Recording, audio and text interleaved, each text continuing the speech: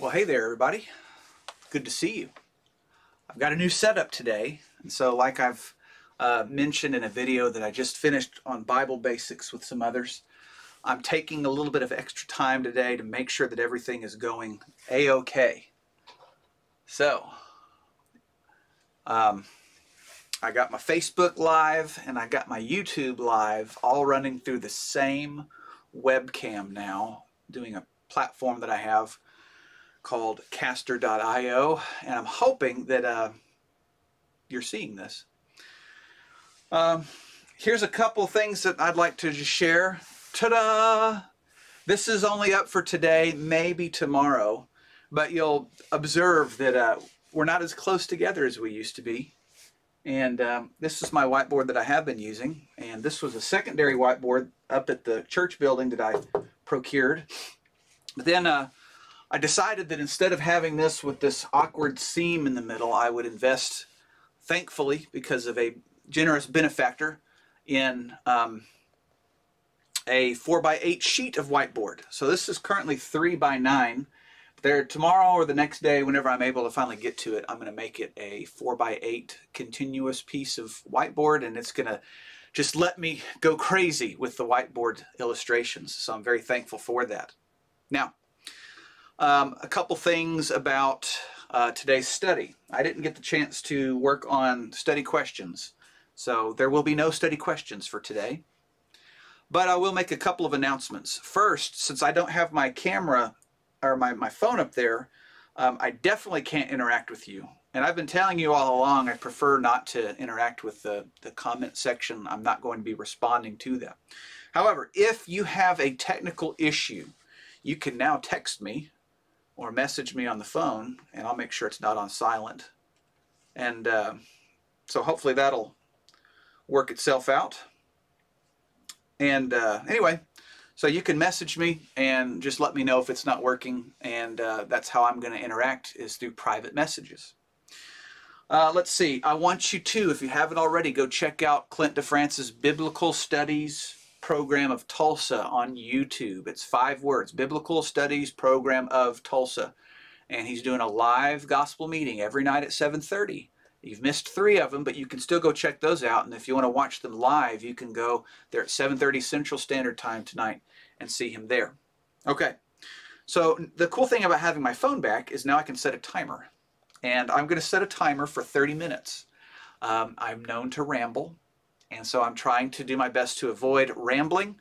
And uh, so I'm going to set it at 32. That way I can ramble for another couple of minutes while people get logged on. And that's set, and that'll just kind of remind me that I need to wrap it up. So anyway, um, so I'm very thankful I have all this space. I'm able to kind of spread out and, and move around and go back and forth. And so hopefully uh, this will be helpful for us. It'll, it'll allow me to write a little bit bigger I would prefer uh, if you would send me a message, you know, if, if you're able to read these things.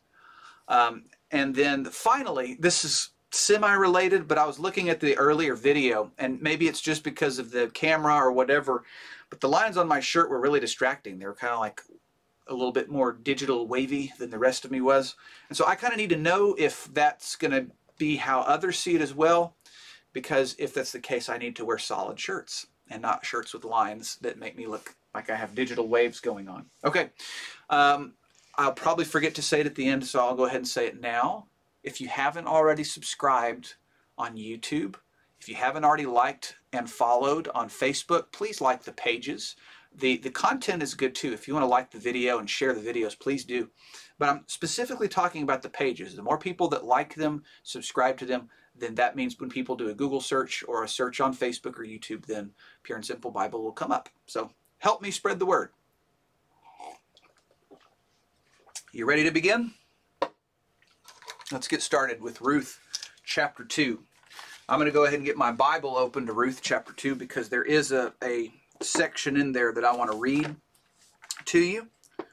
And uh, so if you want to have your Bible open and flipped over to Ruth chapter 2, then that'll be a great way to start the study together.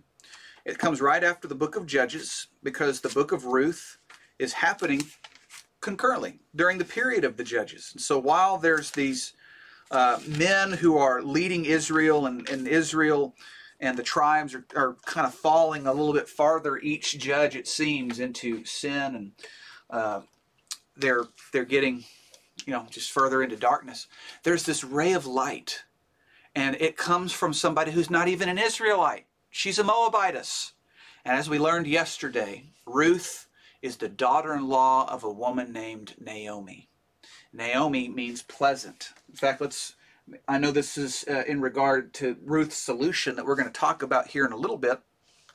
But let's just talk about Naomi. Uh, Naomi, her name means pleasant. You could write that down to go along with our notes from yesterday. She was very pleasant. Um, she had a, a, great family. She had a husband, she had two sons. They went to Moab during a time of famine in their land, in the land of uh, Israel, specifically in the tribe of Judah, near the town of Bethlehem. She was an Eph- Ephraimite. Er, and anyway, uh, Ephrathite. I know I wasn't getting it right. Ephrathite. Naomi goes in full, but she comes out empty. And at the very end of chapter 1, she says, Call me Mara because I am bitter. The Lord has dealt bitterly against me. And one of the main lessons that we learned from yesterday was that Naomi, this is how she felt, but it's not who she was. She was not bitter. And in fact, in chapter 2 today, and in chapter 3 and 4, we will find that she is quite the opposite of bitter. She's very pleasant.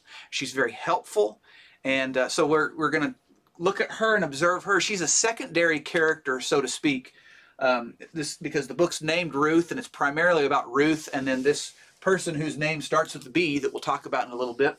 But uh, Naomi is very important because her trajectory of going from having everything to losing everything to feeling awful in the moment, and but then to come back and realize that truly she did have um, uh, a wonderful life, even though she went through great tragedy uh, I want us to just remember her. Ruth's name means friendship. And man, what a friend she was to Naomi. She's a daughter in law. She's a Moabitess. She's not even a member of the house of Israel. And uh, she, unlike the other daughter in law, refuses to leave Naomi. And so, one of the things that we learned yesterday was that Ruth uh, has great faith. and she is willing to follow Naomi. She's going to be a foreigner. Somebody reached out to me yesterday and asked this question, and honestly, I don't know the answer. And she asked, Would she know their language? Would they have had different languages? And you know, I do see um, it's going to be many years later in, in Nehemiah chapter 13 that there were people who married people from Moab and they spoke the language of Ashdod and not the Hebrew language. I'm going to go ahead and say, though, that they did speak a common language because obviously she's able to communicate with Naomi, and then later on she'll be able to communicate with others as well. So, was she bilingual or was it a common language? I honestly don't know the answer to that question, but I thought it was a really interesting question. But she's going to leave her native culture, she's going to leave everything she's known, and she's going to travel with Naomi back to Bethlehem. Now, let's jump into chapter 2, and we're going to talk a little bit uh, about something. Okay. Uh, Ruth chapter 2, a woman of integrity. We've seen Ruth as a woman of faith, but now let's talk about her integrity. Her work ethic might be another way to describe it if you'd like to.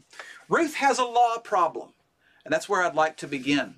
Ruth uh, is dealing with being without a protector. Um, we have to remember that during this time and in this culture, all wealth and rights were passed down hereditarily. Hereditarily. And what that means is father to son, father to son, father to son. Could it go father to daughter? There are some occasions we do see that in the Bible. Specifically, I think in the book of Joshua, there were some daughters of a man who died, and they go and they're able to get their inheritance. But by and large, it passes father to son. Now, I don't want you to look at this with 21st century eyes where you say, oh, it's the patriarchy. What I want you to look at it is with the eyes of people living in this time. I think we do a disservice whenever we consider the Bible only through a 21st century lens. And if people in those times didn't live up to our standards of what we think is right, then it's not worthy of our consideration. And I think quite the opposite is true.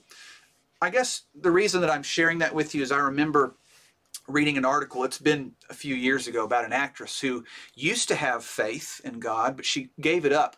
And one of the reasons that she gave it up was because she felt like the Bible was so biased against women and that there was no examples of good hero or heroines for her to look at that she just uh, decided that she didn't want to believe anymore. And so here's my encouragement to her and you, if maybe you feel similar. First, we have to accept that cultures around the world work differently than the way that we may have been raised. That's true even today. If you have not traveled abroad or have not lived in another culture, then you may not appreciate that as much as somebody who has. For those of us who have lived in other countries, we go places where things look wrong or strange, different, backwards, uh, not normal. And that's okay because that's their culture.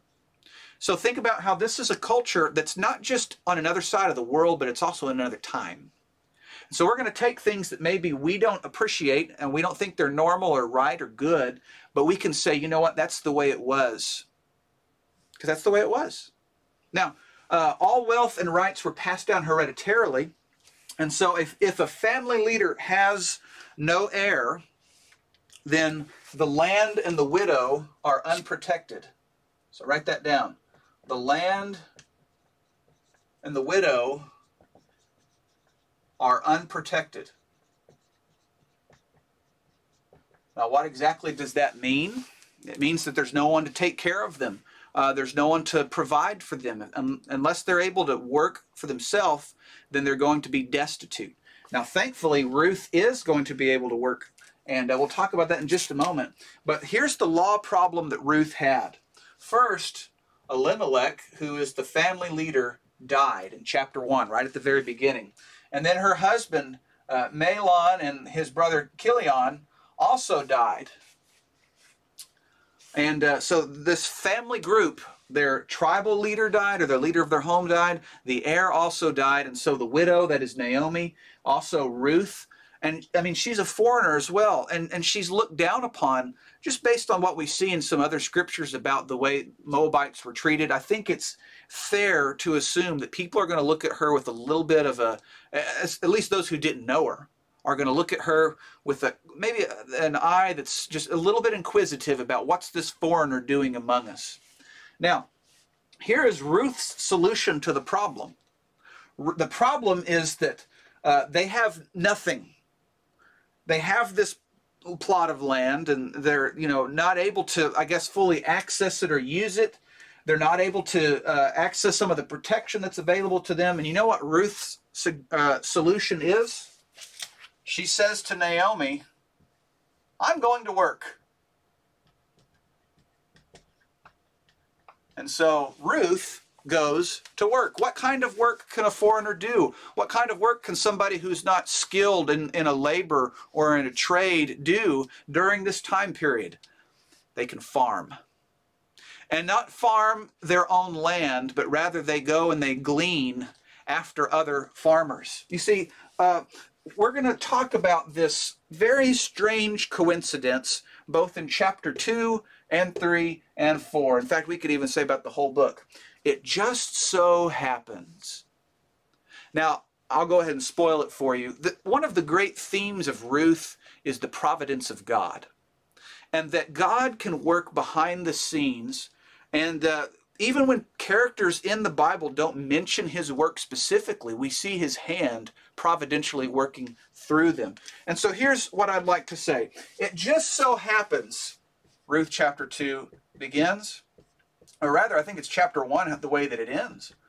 But in chapter two, it just so happens that it's the barley harvest. They just so happen to came back just in a time when there's going to be food that they can go to some other people's fields and they can glean that food. Now, what does that mean whenever we're talking about how she's going to go and glean after others? Well, uh, let's consider that a plot of land is a big square, right? And so the, the farmer, he's going to sow his uh, barley and his wheat and everything else on this plot of land, and he's going to get to fill it out completely. Well, there are some laws that uh, we can consider, and you could write down the book of Leviticus and it's Leviticus chapter 19, verse 9. Oh my. My handwriting. This I have too much whiteboard space for my handwriting to be that bad. I apologize. Leviticus chapter 19, verse 9. Leviticus chapter 23, verse 22. Deuteronomy. I have a reason for writing these down, so just stay with me and write them down too if you're taking notes, and I hope you are. I appreciate note takers. Deuteronomy chapter 24, verse 19 through 22. These are all, what will we call them? God's social security. God's social security. Now, some of you around the world may not appreciate that phrase if your country does not have social security.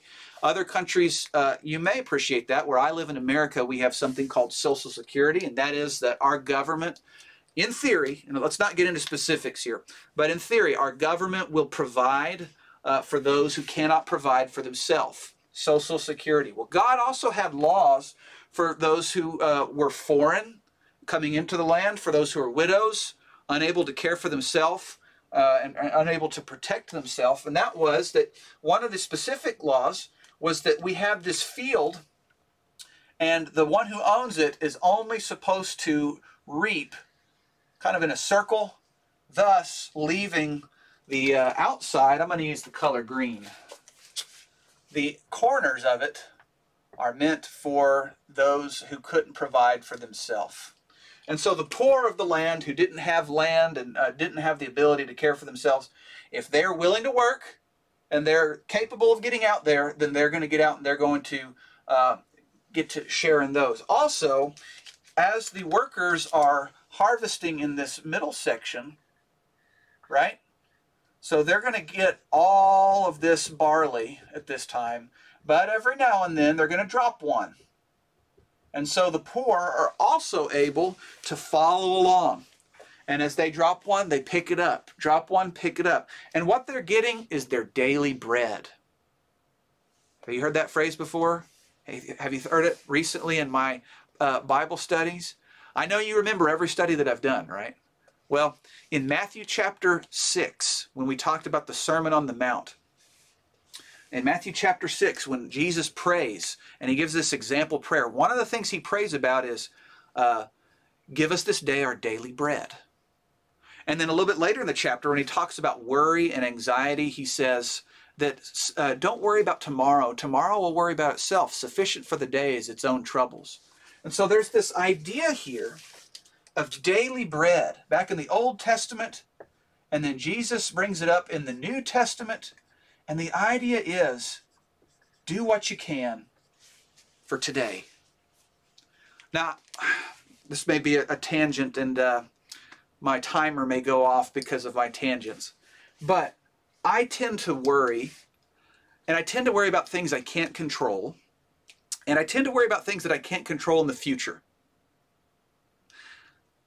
I'm doing exactly the opposite of what Jesus told me to do, and that was be concerned of the present, be thankful for what you have in the present, and use what you have in the present to move on and to motivate yourself into the future. So here's maybe a word of encouragement to those out there. I, there's been so many people offering encouragement. I'm so thankful for our brotherhood who is doing such things, such mighty works. But just think about this. Sometimes you have to take it a day at a time. And sometimes you have to take it an hour at a time or a minute at a time. Sometimes your checklist needs to be to get out of bed, to make breakfast. And beyond that, you're not sure what's coming next. Uh, your checklist might be whatever I need to get done today, and you're not, you're not really thinking about tomorrow. There's this concept of work for today's bread. So I want you to take that and I want you to apply it. Matthew chapter 6 is a great scripture for you to meditate on. So write down Matthew chapter 6 about daily bread, and we'll see that Ruth was going out to glean in the fields for daily bread. She didn't have a plan to get rich. She didn't have a plan to get married. She didn't have a plan for anything other than daily bread. Now, that's important because she's a woman of integrity. She's willing to help this widowed mother in law get daily bread. As a foreigner, she's going to go out into somebody's field and she's going to try to help Naomi get daily bread. She has no idea where she's going, but it just so happens It just so happens that she goes, let's see, I got the color black up there. She goes to Boaz's field. So let's talk a little bit about Boaz. This is the third character in, in this four chapter narrative. Uh, he's really, in I think, uh, number two or maybe number three as far as the, the amount of dialogue that he has. Ruth is obviously the main character, but Boaz is uh, necessary to the story because of some very key information.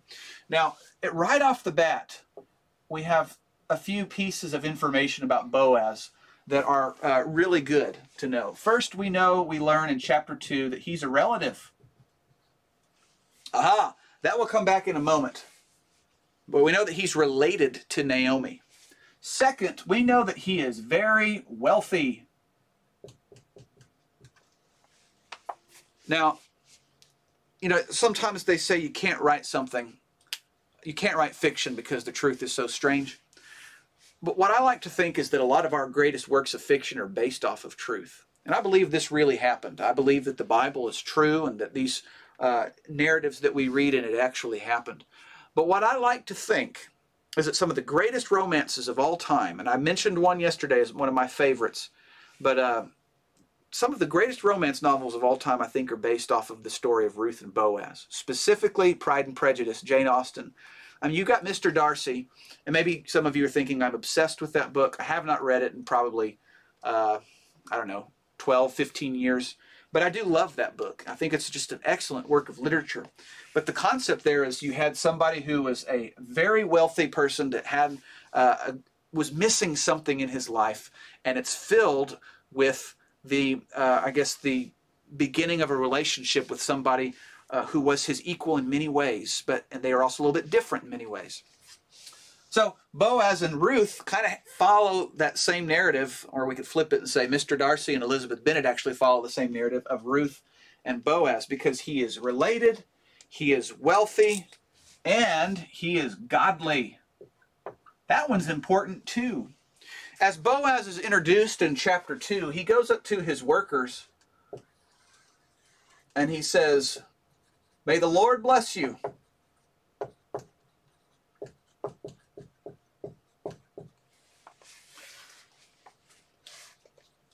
Let's see.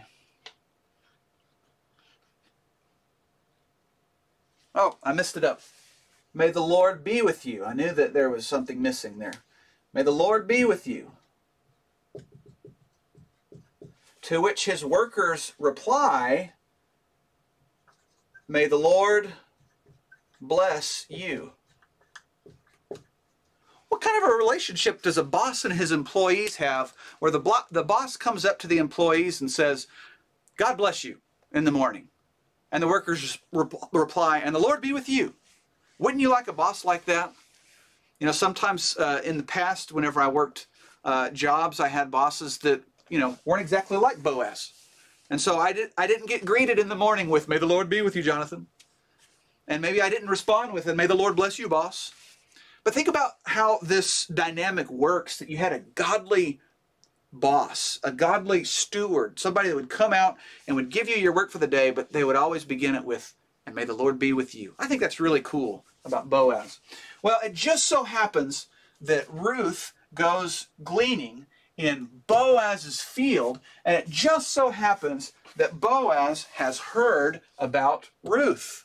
Now, specifically, he talks to some of his workers and he says, Who is that woman over there?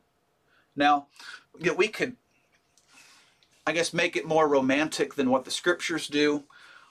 Honestly, we have no, I guess, uh, description of Ruth as a beautiful woman.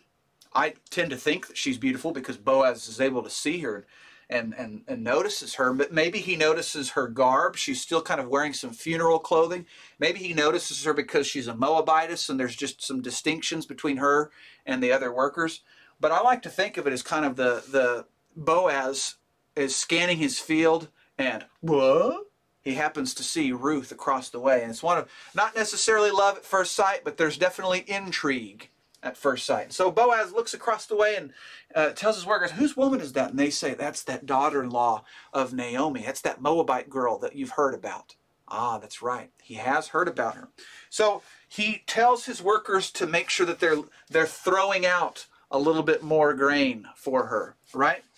And he at lunchtime calls her over and he says, "I want you to come eat with us." So whereas typically at lunchtime those that weren't part of the hired hands would just go eat by themselves and the hired hands would all go eat together with the boss, he invites her to come eat with him.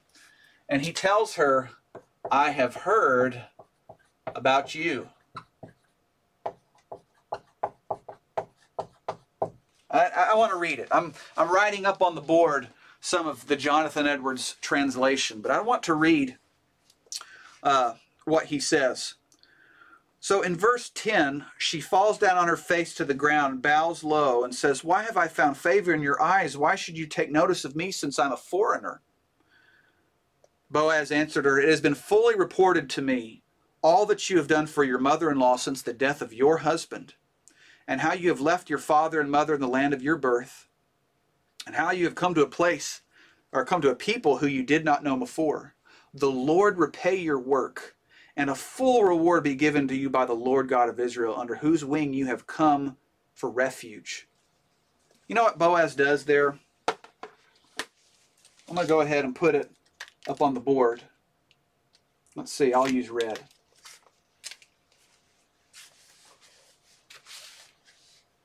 Boaz begins their relationship with spiritual intent.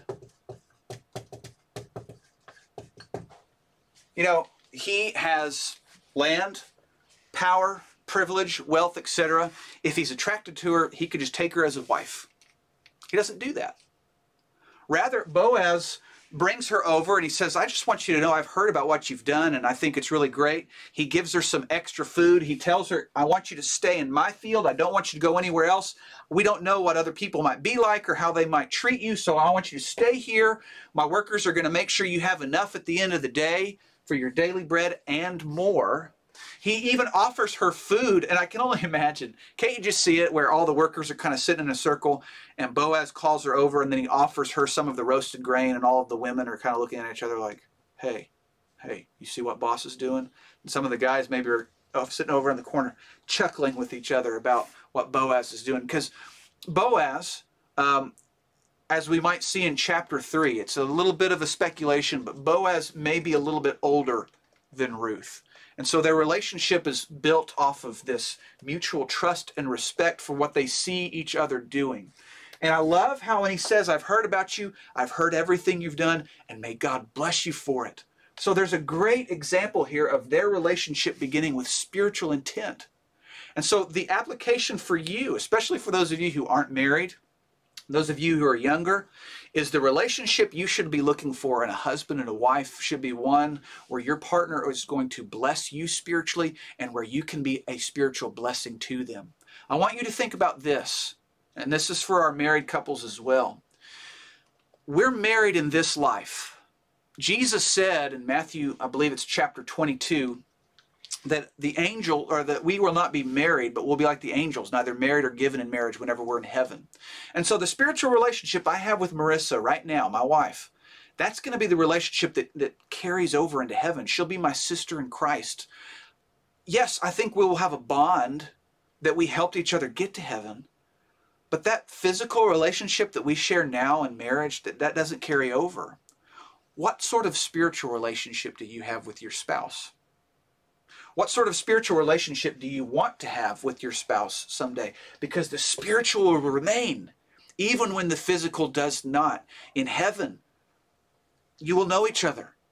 Are you helping each other get there right now? That's kind of the question that I want to ask. Are you helping your partner get to heaven? Are you helping your, your husband and wife? How will you help if you're not married? Okay, so at the end of the day, Ruth is taking just a bunch of barley back to the house she has gone out to work. Her solution was to work for daily bread. And yet when she comes back to Naomi, whoop, she's got a lot more than uh, she thought she might have. And not only that, but it says that she brings out some of the extra food that she couldn't eat. And so it's almost like uh, you know somebody who goes to a big dinner party and they're stuffing the rolls in their purse on the way out. I don't think it was exactly like that. But Naomi, or, but Ruth had leftover food for when she was eating with the workers and Boaz, and she brings that back to Naomi. So what do they have together? They have enough for the day, but they also have enough for tomorrow. And they also have enough to sell and be able to kind of rebuild their life in the area. But let me move my table over real quick and take a drink.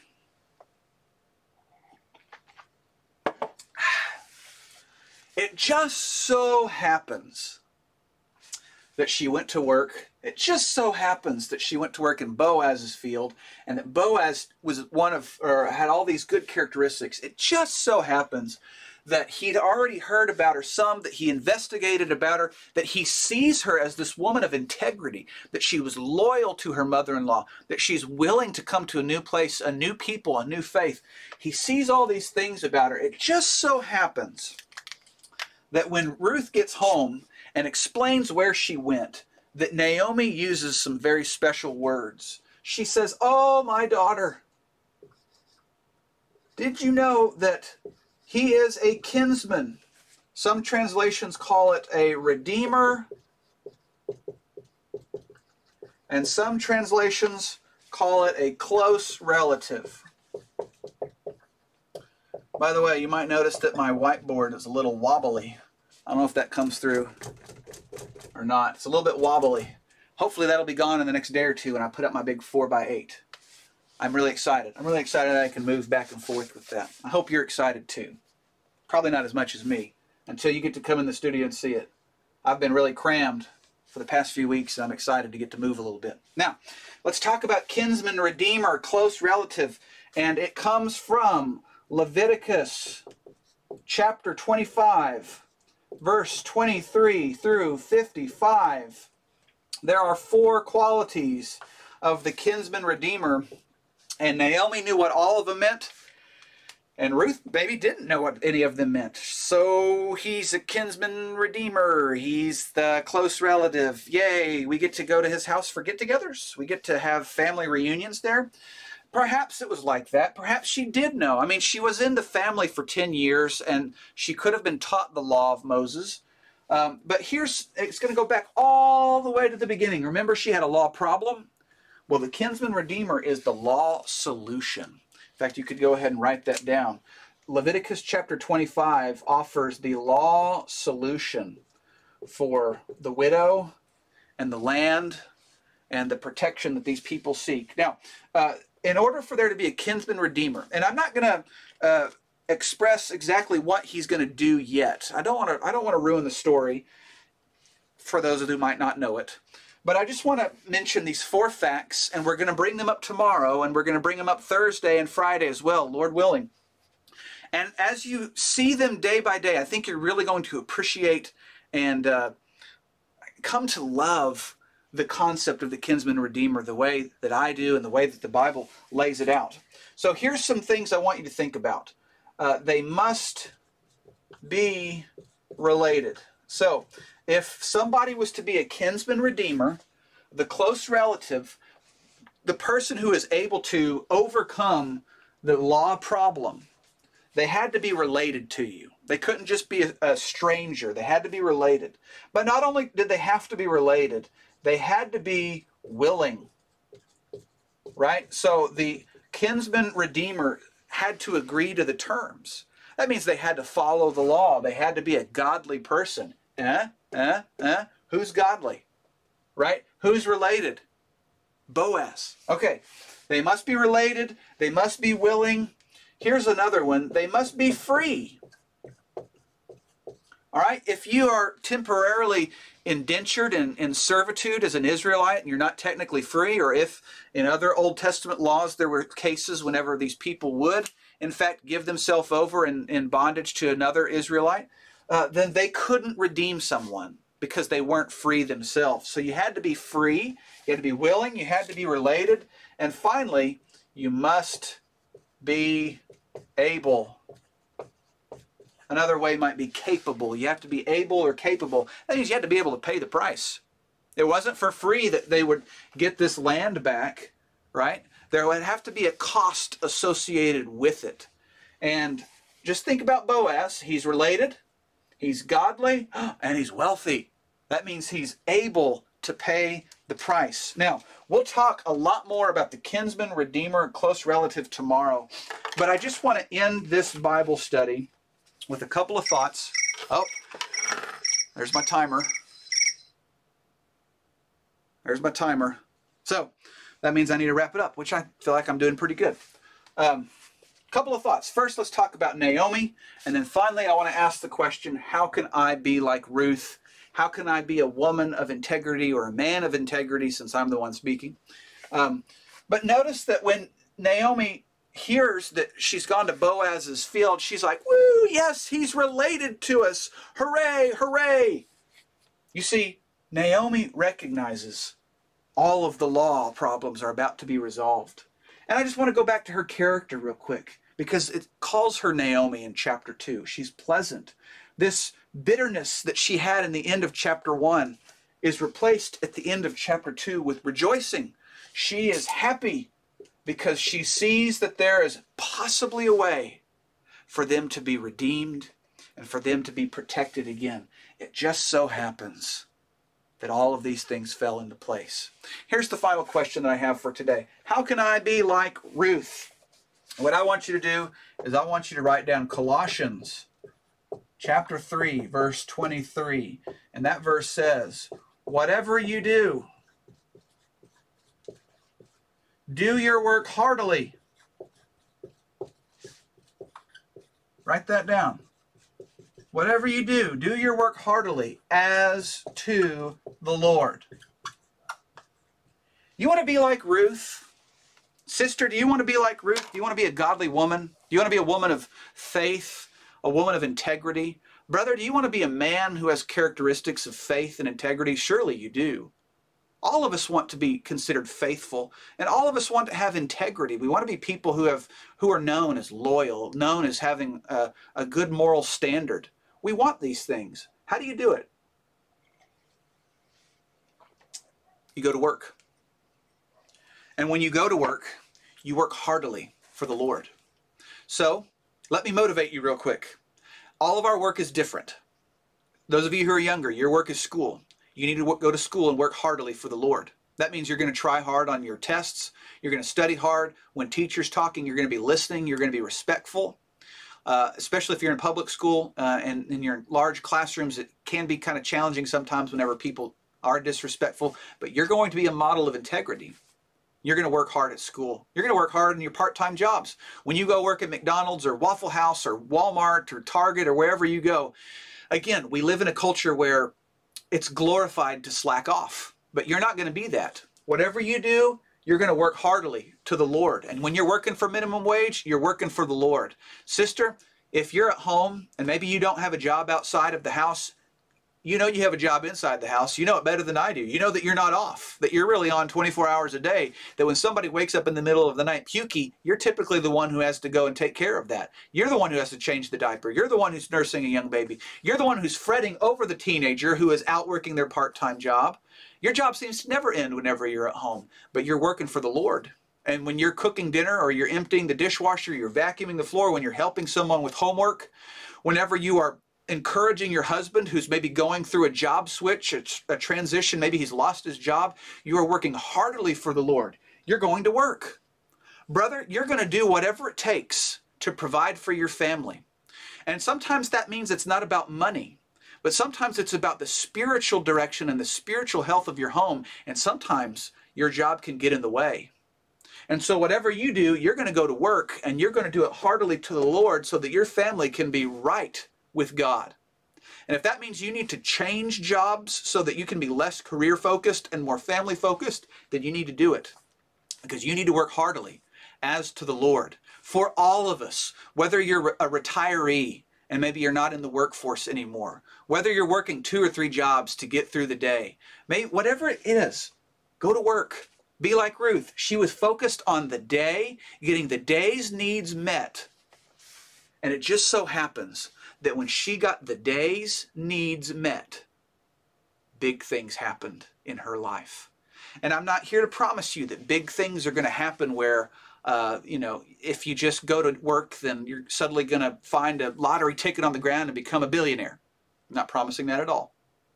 But Jesus said, Don't worry about tomorrow, for tomorrow will worry about itself. Sufficient for the day is its own troubles. So, whatever you do, do your work heartily as to the Lord. That's the Bible study for today. I'm very thankful for your presence, thankful for this whiteboard uh, setup that I have now that I'm able to kind of spread out a little bit. Oh, thank you, God. And uh, I'm looking forward to our Bible study tomorrow on Ruth chapter 3. And so I invite you to read ahead and uh, get yourself familiar with that selection. And I'll have uh, maybe a new whiteboard. Maybe I'll have this. I'm not quite sure yet. But by the end of the week, we should have our 4 by 8 up here. And I'm looking forward to that. Now, I like to end my Bible studies with prayer. And I'd like to encourage you, if anybody has a prayer request, please reach out to me in a private message and I can uh, pray with you in this virtual way um, where we're praying together. And, and I just ask that if you want your prayers to be mentioned, that I'd love to help out in that way. Uh, let's see, let's have prayer and then I'll make a couple of closing thoughts to be done. Holy Father in heaven, how wonderful is your name. Thank you for your great plan of redemption, and thank you that we can study the book of Ruth and see redemption at work. Father, we're so thankful for Ruth, our dear sister who uh, has modeled faith. She's modeling integrity for us. And uh, we pray that you would bless us to continue to see her as the woman of virtue that she is, the woman of grace that she is. And we're excited to study her for the rest of the week if it is your will. We pray that you would bless those who are listening to this, that they would be active in the study, active in that they would take this information and synthesize it. They would reuse it. They would use it for uh, their own life. They would use it to help others, and that your will would be accomplished through their life. We pray, Father, that you would help us to observe your providence. And whenever it seems like it just happened, you know, and things just kind of fall into place, we don't know your will, Father. Ultimately, um, on, on every detail that you have planned out for us, but we pray that we would give you glory and that we would be willing to say, perhaps, and that we would give you the credit instead of trying to keep it for ourselves. Father, we pray for our government leaders. We pray for our doctors, our nurses, and others who are ministering to us. And we pray that we at home would do our part to be helpful in our local community. We pray as Christians that for those who are faithful, that you would help us to be salt and light to the world. We pray for those who are not Christians who are watching this, that you would give them opportunity to repent, to be saved. And Father, we ask your blessings on us now as we depart. And it's in Jesus' name, amen. If you are not a Christian, like I just mentioned in that prayer, uh, or if you have been part of the Lord's church and perhaps you've left for uh, different fields, so to speak, then I just want to offer this uh, encouragement to you. It's not too late. Now, we don't know God's timeline, so it could be too late in a minute from now, or 10 minutes from now, or a day from now. We don't know. But the point is, is that the time is now. And I just want to encourage you to reach out in a private message, and um, I can do what I can on this side of it. I can help you plug in with people who are local to you, and we can help restore you to God in the way that you need to be. Uh, let's see, tomorrow at 11 o'clock, please come back for Ruth chapter 3. On Thursday at 11, and then Thursday on a different channel, I have um, Backyard Bees and Garden. I'll be doing a final virtual science lesson um, over there. And so go check that out on Thursday at 1.30 p.m. Central Standard Time. That's all I have for today. May God bless you, and I hope that you are uh, blessed in this Bible study. Please let me know if they're helpful and what you might like to hear about next week. That would be good. We can start working on next week's stuff together. So I'm going to go ahead and end the streams first. Uh-oh. I may not be able to end the streams. Oh, there we go. The mouse is going. All right. Bye, YouTube. See you later. Bye, Facebook. See you later.